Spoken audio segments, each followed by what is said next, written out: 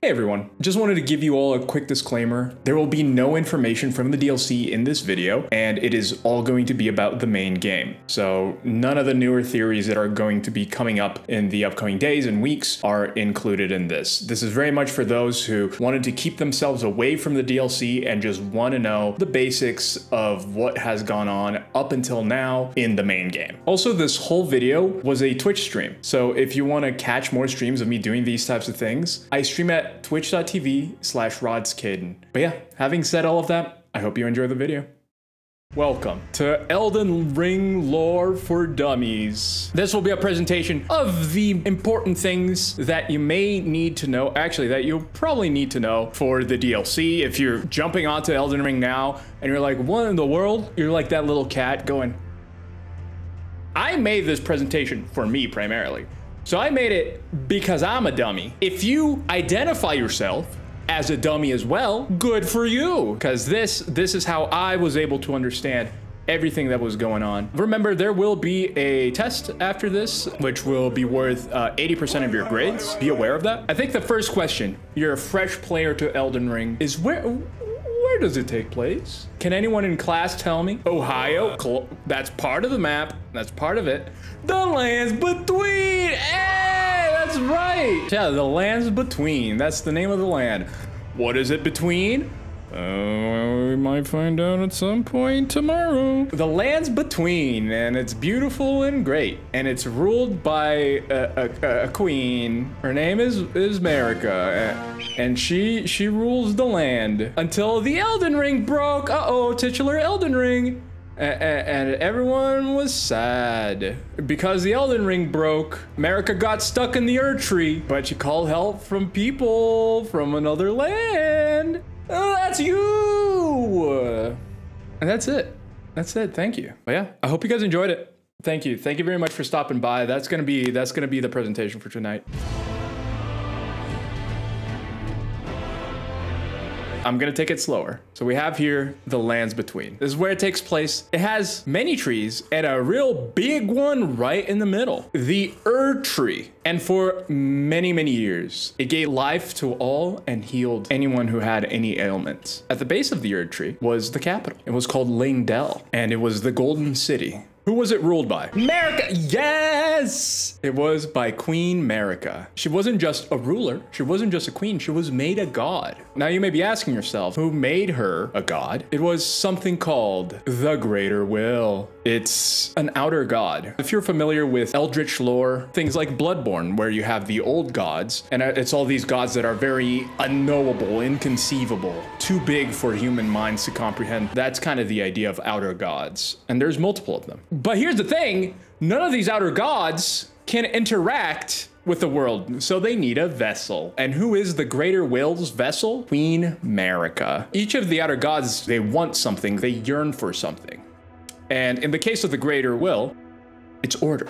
It yearns for order. So first we have to go back to a long time before Marika, before she was born, before anything happened, long before the Erdtree even existed where everything was together. Everything was one in a primordial soup type thing that was called the Crucible. And if there was something that the Greater Will didn't like, was the Crucible. Because it was messy. It didn't have any rules and it didn't have anything defined. Everything was just together and blah. so the Greater Will was like, I'm gonna try to fix this mess of a place that just doesn't have anything. I'm gonna send a comet with some order in it. And inside this comet was our friend, the Elden Beast, which is the physical manifestation of order. And it's also the representative of the greater will in the lands between, because the greater will cannot come to the lands between, cannot be manifested in the lands between, so it uses the Elden Beast. So it has Marika as a vessel for itself to enforce those rules and the Elden Beast to make sure those rules exist in the first place in the lands between. The Elden Beast is creating the rules because the Elden Beast is the Elden Ring.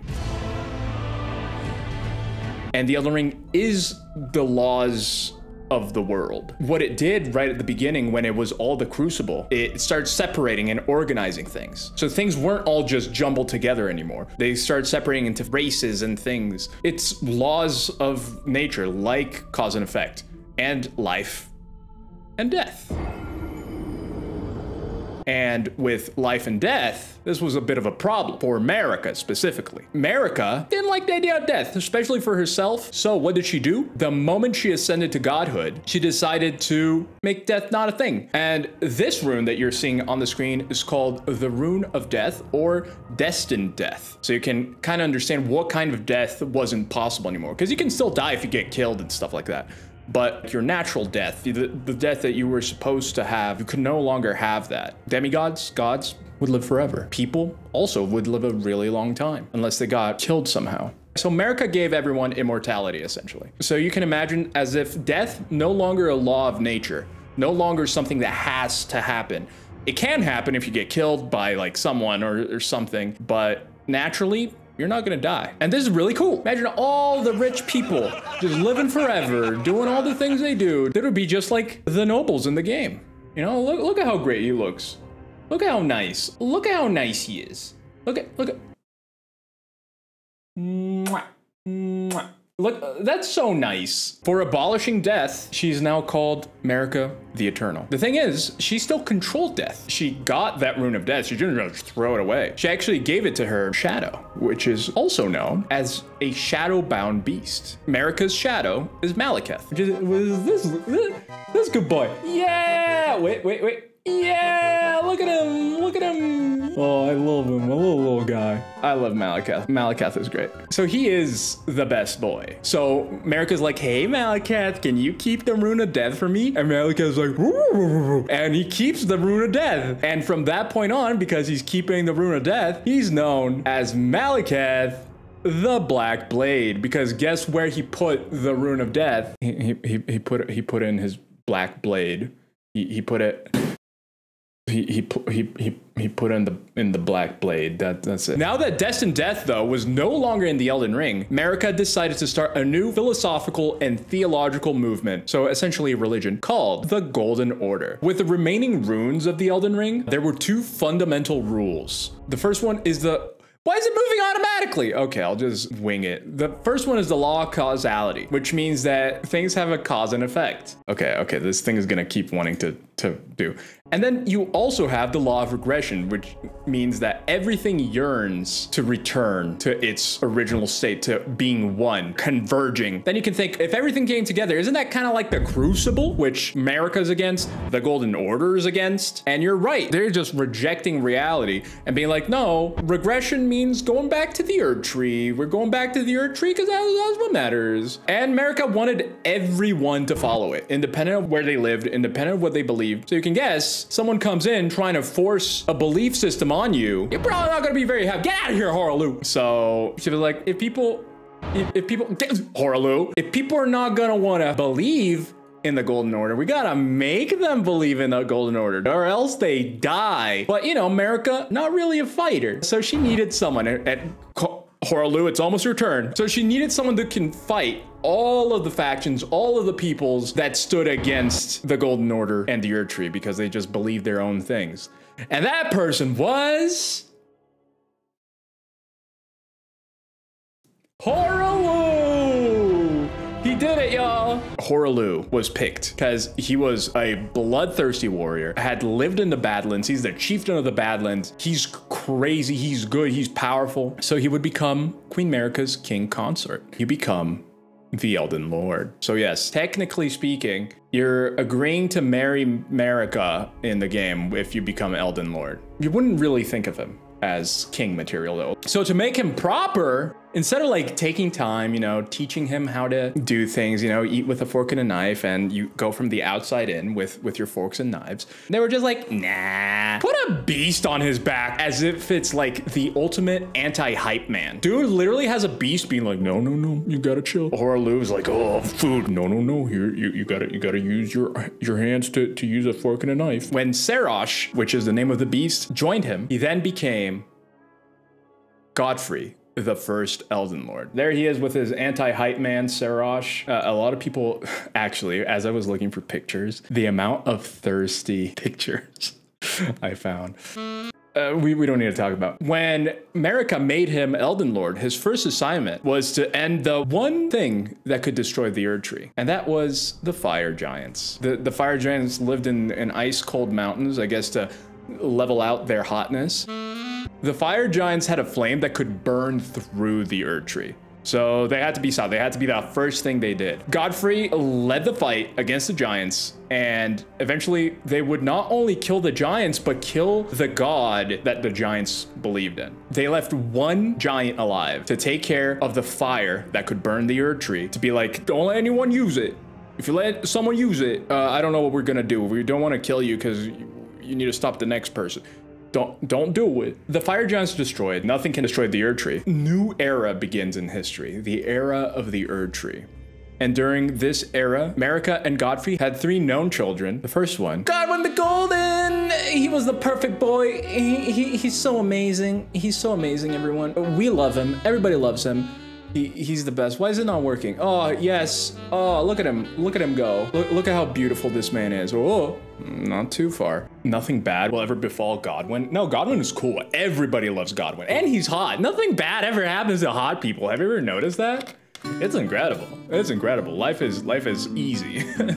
But there were two other kids, and they were very unlike Godwin the Golden, and they were known as the Cursed Omen Twins. Because we're gonna talk now about omens. What are omens? Omens are children that are born with horns all over their body, all over their faces. They don't receive any grace. The Erd tree just shuns them, and they're considered impure. The reason why why they're considered impure is because of all the horns. What the horns are a characteristic of is the crucible. So in reality, this curse not really a curse, just nature trying to be nature. But the Golden Order is like, mm-mm, mm-mm, not very orderly. So next up, the actual cursed Omen twins. We have Morgott, who did not like his curse, did not lean into it. He wanted nothing to do with it. They were put in the sewers. They grew up in the sewers, and he was like, I, I don't want any of this. Get me out of here. I love the Golden Order. I know the Golden Order hates me. I know the Erd Tree hates me. I love the Erd Tree. The Erd Tree pretty, beautiful. I love it. But then you have someone that's the opposite. His twin brother, Mohg, is like, No, no, no. I love my curse. Blah, I love cursing. Oh. so he loves his cursed blood and he revels in that. So they're very much the opposites. Next, we have Marika's campaigns, which she continues to go through using Godfrey and her champions to conquer all the other peoples and all the other groups. Small groups like the ancient eternal dragons, we don't care about them. The Stormlord, which is really cool. If you've ever seen the Castle of Stormveil very early on in the game, the Stormlord was a bird.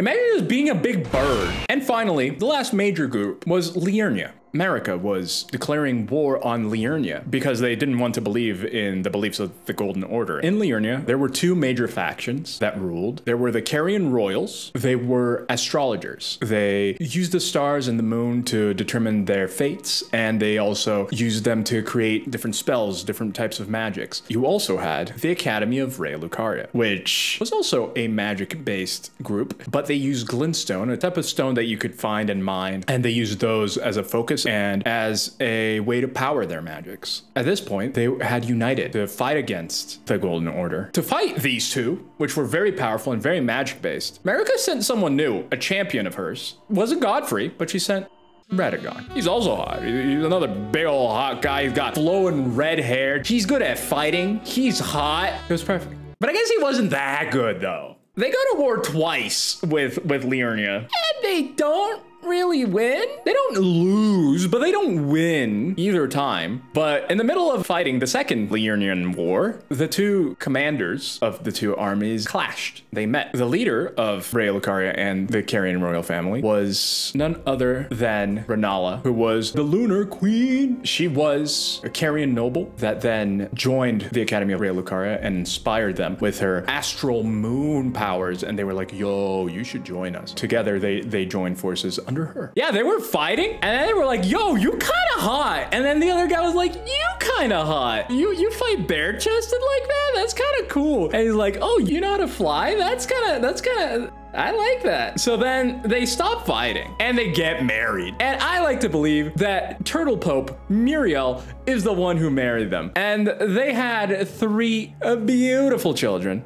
First off, probably the biggest Giga Chad in the game, Radahn. He was a great warrior. He was just super powerful. And then because he was the son of Rennala, also learned some magic. But the interesting reason is why he learned magic. He learned a specific type of magic called gravitational magic, gravity magic, for one reason, because he wanted to be able to continue to ride his horse without hurting his horse. He had a scrawny horse. He knew the horse wouldn't be able to continue to hold him. So he learned gravity magic to lift his weight off of his horse so that he could continue to ride his horse. His horse's name is Leonard. Look at this little guy. He's so weak. Uh, he's so frail. But Radahn loved him. And you know what? I respect that. And remember, here's the thing. You want to know why all the animals look kind of terrible in the game? Like you look at the merchants. Nothing can die. They age but they do not die. Starvation cannot kill you. Anyway, the next son was Rykard. Rykard doesn't care about anyone. He just wanted to do his own thing. So he moved to a volcano and gets eaten by a snake. Next up, we have Lunar Princess Ranni, and she takes after her mother, and she was pretty sick. She was pretty cool. She was pretty cool. And they lived happily ever after. This is classic George R. R. Martin moment. They all lived happily ever after, and everything was fine and dandy with, with this family of beautiful redheads. Is that Blade? Yeah, it is. Or Blythe. I, I, said his name right. Uh, anyway, uh, so everything is happy now with his family. Everything is going great. Everything is going dandy. So we gotta we gotta get back to Marika because Marika is not doing so well. Marika, uh, she started having a mid-religion crisis. She's having this religion crisis about the Golden Order, despite literally having the Elden Ring inside of her. And she's like, uh, maybe, maybe, this ain't too good. Starts questioning the Golden Order. And she starts calling herself Downton Marika. Absolutely canon. Absolutely canon. She calls herself Downton Marika from now on. Because she be Downton. So what happens? Godfrey gets caught in Downton Marika's crossfire. So after Godfrey defeats the last enemy Marika had told him to defeat, Downton Marika comes in like, uh, Think you're not gonna have grace anymore now. You're not you're not gonna have grace and you're now a tarnish. Tarnish being someone who lost the grace. And she did that not only to him, but to all of his warriors and all of his descendants. So Doubt and Mary was like, yeah, Godfrey, get out of here. You know, you're my husband. Eh.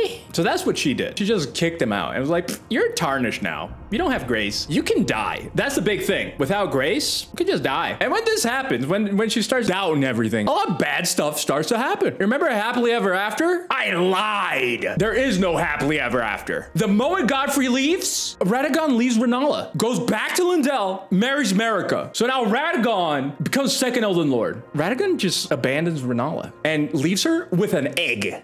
He's like, yo, Rennala, I'm leaving. I'm gonna go marry uh, Marika, the queen, the god of the land, and I'm gonna leave you with Egg. This is genuinely one of the saddest parts. She genuinely loved Radagon. She loved that guy. So she's so depressed now that she hugs the egg the rest of her life. And all she can think about is this stupid egg. Her heart is destroyed by Radagon. On the brighter side, though, her children, now technically demigods, because they are now the stepchildren to Marika. So they inherit that. Couldn't she just get a cat? Here's the thing. It's this is like John Wick, where the egg is the dog, and that's the last thing she has of Radagon. But yeah, Rennala never recovers. She just says egg now. Radagon and Marika get busy. Uh, Radagon and Marika have children. They pump out two kids at once. That's called having twins. These twins are, are known as the twin prodigies. The first one was Malenia, and the second one was Miquella. The weirdest thing happened. I really don't know why. They were both born with terrible afflictions. Horrible. I don't know why. No idea. The first one, Malenia, she had a curse of a growing rot inside of her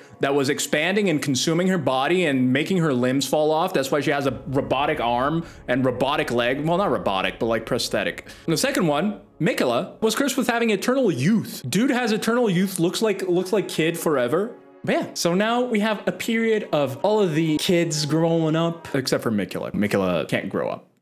So everyone else grows up though. But then someone goes through a phase and gets a little bit gothy. So then we have Goth Ranni. And Goth Ranni, she's like, hey, I like death. And then she goes over to Maliketh, who's the cutest little pupper. Oh yeah, look at him. He doesn't know how to drink the Wawa. Yeah, so she, she goes there and she she gives him a little scritches and he's like moving his little like he goes, "Roo, roo, you know, he's just he's just a little guy. He's just a little dude. And while he's like thumping his foot because she's scritching him, she steals a piece of the rune of death. You know, she just yoinks it. And Maliketh goes, and Ranni makes uh, some knives with the pieces of the rune of death. Gives them to the Black Knife Assassins. Kind of weird name. They're her goth groupies. So she made black knives, gave it to the Black Knife Assassins, and nothing happened. Once again, George R. R. Martin didn't finish writing this story. Just kidding. It's the night of the black knives. Ooh. You want to know what happens? They kill Godwin. You know, the golden boy, the one everyone loved. Even uh, Miquella and Malenia loved him. Everybody loved him. Uh, I loved him. You know, he had a cool back. Look what they did to his back now. Yeah.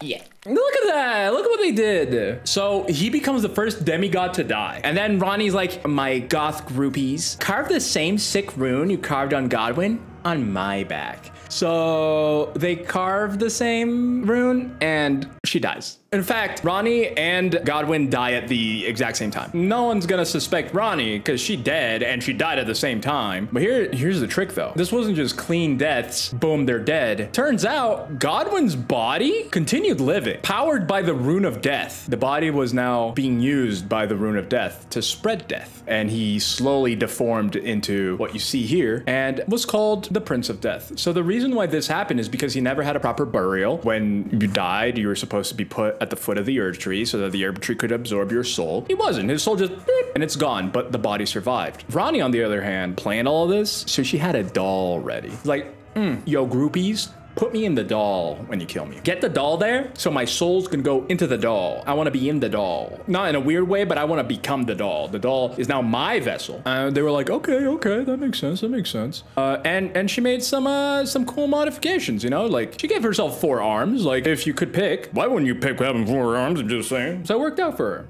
Rods. What? This is what happened in the night of the Black Knives. Now, you would think that at this point, doubting Marika would be about to blow up. She literally just had her golden son be killed. She had her stepdaughter die, and she's still having her weird mid-religion crisis. You would think she would blow and explode and, and just go crazy. You would think so. But she does.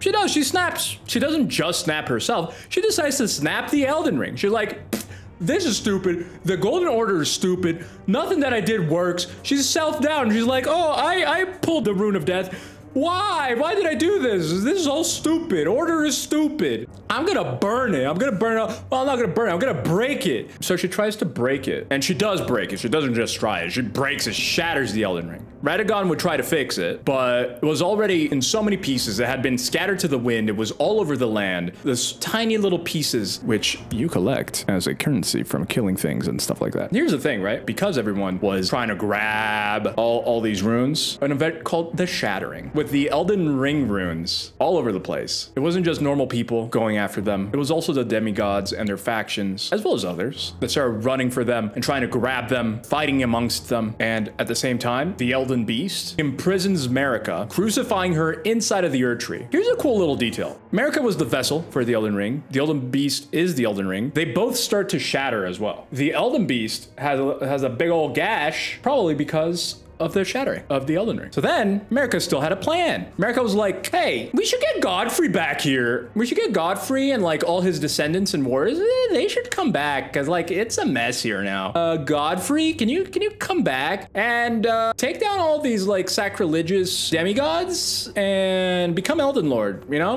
you can you can marry me whatever, that's kind of cool, right? You want to marry me. So she calls back all of the Tarnished, all of their descendants, try to fix all the uh, the things that were going on. And that, it's you! There we go, everyone. You asked me to explain a little bit better, so now I went into a little bit more detail. Now we all get it. But yeah, there we go. Wait a minute. There's something I failed to tell you all. You know Radagon? You know Marika? Radagon is Marika. Do you understand? Radagon is Marika. Is Marika. Not likes, not is Marika. They're, they're the same person. Radagon is Marika. Radagon is Marika. Marika could split herself Do you understand? Remember, remember, remember when she became Doubt in Marika? That was when Radagon split from her. Why? Because Radagon was the part of her that liked order, that liked the Golden Order too, because that's order. And what happened is that now she didn't, she, she started doubting. She started doubting because she didn't have Radagon in her. That's why she started doubting. They began as one and a part of herself left. She's not a full person when Radagon is not with her. Thank you. But also, do you, do you, guys remember Malenia and Miquella? Remember that they were born with ailments, with illnesses, with curses? Now I ask you, incest is bad. I don't ask you that. Actually, I tell you, incest is bad. What if you had a, a child with yourself? I would say that's even worse. Self-cest worse than incest confirm? Question mark, exclamation mark. So, Marika, have you ever thought about that, Marika? Have you ever thought that maybe that's why your children were getting sick? Have you ever thought of that, Marika? Uh, I sure have. Uh, uh, I'm just saying. I don't say this. This seems this seems kind of obvious to me.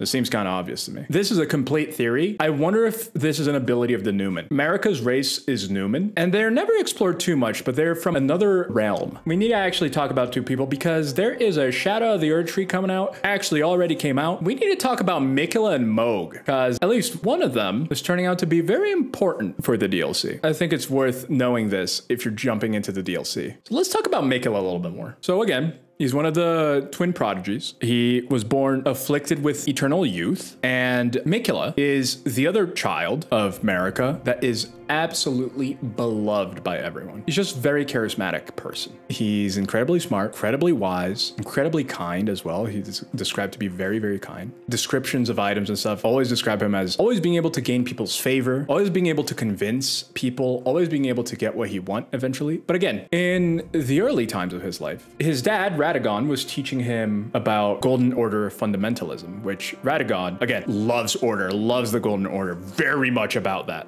Miquella would even go and make some incantations within, I guess, Golden Order fundamentalism. But then he would turn his back on fundamentalism because the one thing that he cared about deeply was his sister. He wanted to see her well, and she was slowly dying because of a growing rot inside of her. So after studying, he realized that the Golden Order could not save Malenia. So he abandoned it because there was no hope there to help her. So he starts to look for solutions elsewhere. And then he discovers unalloyed gold, pure gold. The pure gold turned out to be able to stop the progression of Malenia's rot. Not only that, unalloyed gold, turns out, it could prevent any outer god from interfering going bookily bookily boo. Because it turns out that the rot growing in Malenia was an outer god. The god of rot was growing inside of her. She was the vessel for the god of rot. But as Miquella continued to research, he started a new place, the Haligtree. It's very well hidden and in very rough terrain. And for it to grow, Miquella uses his own blood.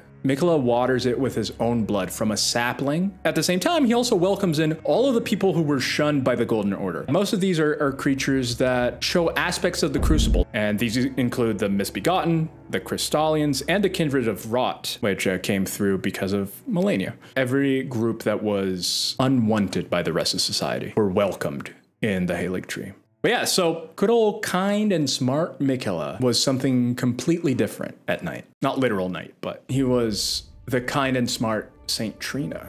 For those who don't know, in the game, Saint Trina's items, they are the items that make you sleep. They make you fall asleep. They, you can inflict sleep on enemies. And in the description of items and things, they're described as looking like a young girl or a young boy. Very androgynous, very David Bowie-like. Uh, no one knew who or what she was. But to everyone that she appeared to, Saint Trina was beloved. But at the same time, one part that no one talks about is that, you know, with the pots and the arrows and the things that you can put, Saint Trina could have possibly been weaponizing sleep to control people. But uh, cool. Just as quick as Miquella donned the cape of Saint Trina, she disappeared, never to be seen again. But what about Mohg? I hear you all asking, what about Mohg? I want to know about Mohg. Well, I'm gonna tell you about Mohg. Mohg had some uh, quirky tendencies, we'll call them. He's just a little He's just a little quirky. So he embraced his cursed blood, and he may have gone a little bit too far, you know, getting a little bit too quirky. When you find Miquella in the game, he's not in the Halig tree. Miquella put himself at the heart of the Halig tree, the tree that he grew with his blood, inside of a cocoon, because he hoped to be reborn. But while he was doing that, while he was in his little cocoon, Mohg came in and uh, just kidnapped, just stole Miquella away. But why? Why, why was Mohg being so quirky? Was he just trying to copy Bowser? Just like kidnapping Miquella? Trying to marry Miquella. Actually, true. Uh, he was. He was straight up just doing the Bowser. Wanted to marry Miquella. But here's the issue, right? I feel like maybe maybe someone should have told Mohg that Miquella is a child forever.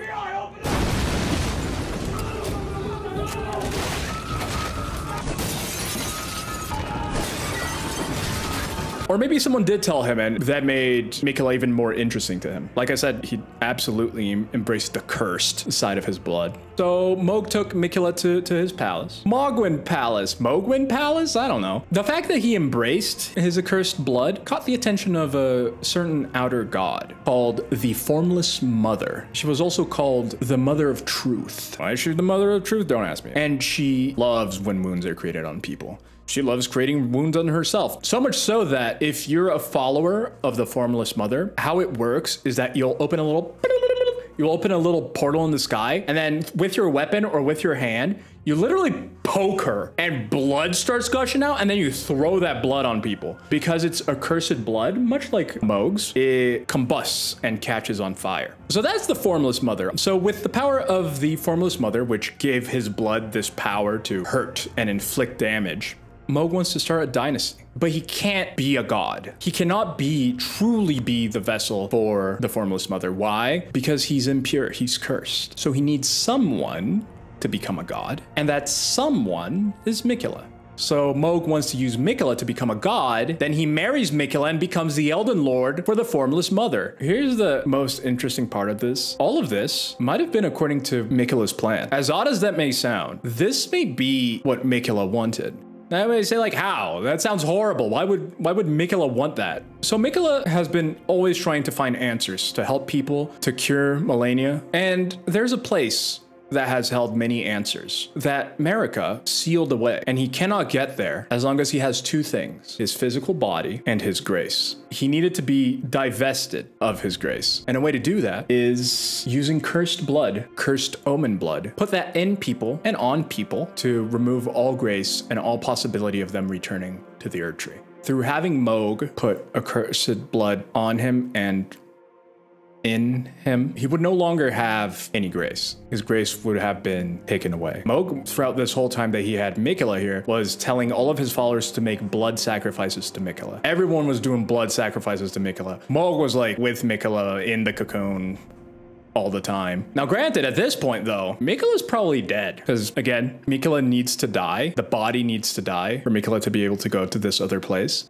So Mohg might just be doing nothing to anything that's living. So he successfully removed Miquella's grace and successfully killed Miquella. And in this way, Miquella is free to go. He is now free to go to the Land of Shadows. Many of you will know. And what is Miquella doing there? What does Miquella want? There's only one way to find out. There's only one way is playing the game, play the DLC. Thank you for the money, Miyazaki. Yeah, this was all a ploy to get people interested in playing the game. Yeah, everybody's gonna play the game, play the game, buy the game. It's cool. It's better than any other game you're gonna find out there. They're not gonna put microtransactions. It's good. Now everybody, everybody go play it.